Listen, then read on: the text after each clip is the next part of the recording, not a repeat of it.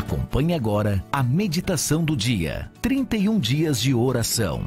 Jesus transforma minha família.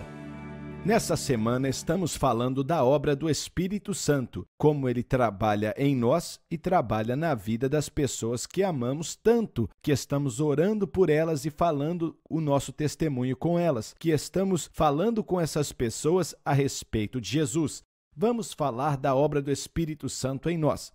Ontem falamos de confessar nossos pecados e como temos que nos esvaziar de nós mesmos. É importante, antes de pedir que Ele nos encha com o Espírito dele, que estejamos limpos, que estejamos confessando nossos pecados diante dele. E depois pedimos: nos enche com o teu Espírito, Deus, e Ele vai te encher, Ele quer te encher.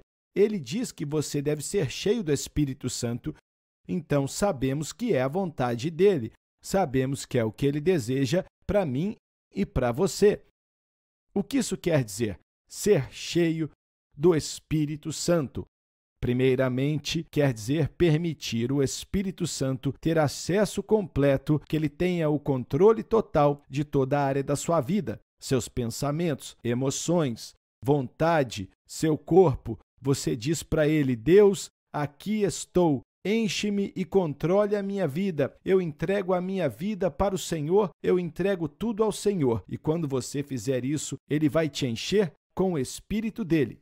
Falando de confissão de pecados, eu uma vez ouvi um homem descrever da seguinte maneira: confessar seu pecado é como exalar, se livrando de tudo que não é bom dentro de você.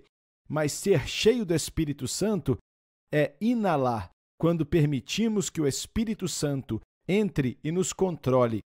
É importante que você permita que o Espírito Santo controle tudo que você tem, tudo que é seu, tudo que você é. E te digo que existe amor e alegria e paz e poder quando compartilhamos Cristo com os outros, quando estamos cheios do Espírito Santo. Então, hoje, antes de fazer qualquer coisa, peça a Ele: Senhor, Encha-me com o teu espírito. Permita que ele faça isso. Primeiro, confesse, se quebrante, se arrependa de qualquer pecado em sua vida e peça a ele: Enche-me, Senhor, com o teu espírito e veja o que ele fará. Você acompanhou a meditação do dia. 31 dias de oração. Jesus transforma minha família.